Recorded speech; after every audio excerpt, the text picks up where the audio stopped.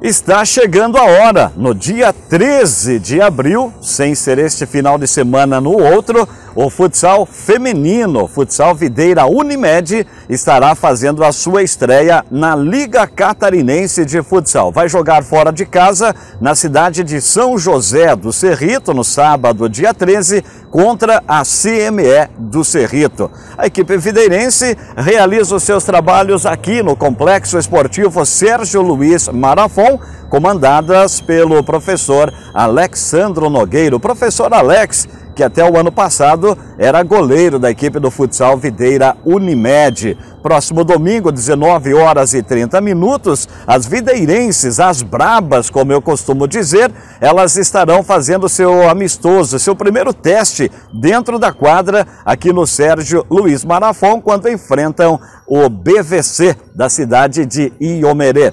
Professor Alex, comenta para gente como estão sendo realizados os trabalhos, os treinamentos da equipe videirense na preparação para essa grande competição. Falar um pouco aí da nossa programação, né, dos treinamentos durante a semana, na segunda, quarta e algumas quintas-feiras a gente faz o treinamento no complexo Sérgio Luiz Marafon.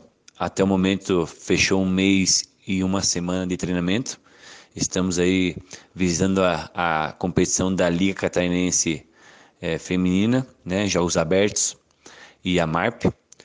É, programação nossa aí nesse domingo fazer um jogo é, preparativo visando já no próximo dia 13 jogar é, iremos jogar fora de casa contra a equipe de, de Cerrito, né? Jano Barbosa. Esse domingo às 19h30 no ginásio Medalhão, complexo Sérgio Luiz Marafon, né?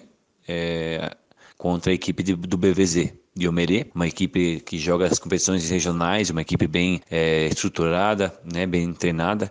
Então a gente priorizou correr atrás aí para fazer uma contra uma equipe boa. Nessa preparação, esse, esse jogo para apresentação da, da equipe feminina para o público nosso de Videira. Então estamos com a programação dessa semana de segunda, quarta e quinta e sábado também um treinamento, né? Já avisando esse jogo festivo aí, jogo festivo não, jogo de apresentação no domingo, às 19h30 no ginásio Medalhão. É, tem uma programação nossa aí das competições é JASC, né? Liga Catarinense e a MARP.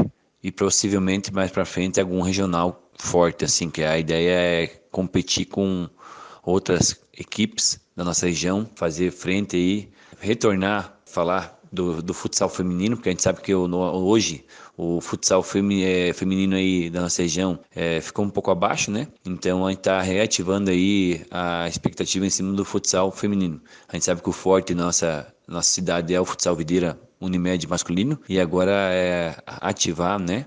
O feminino também nas competições aí de, de regionais e, e a Liga Catarinense.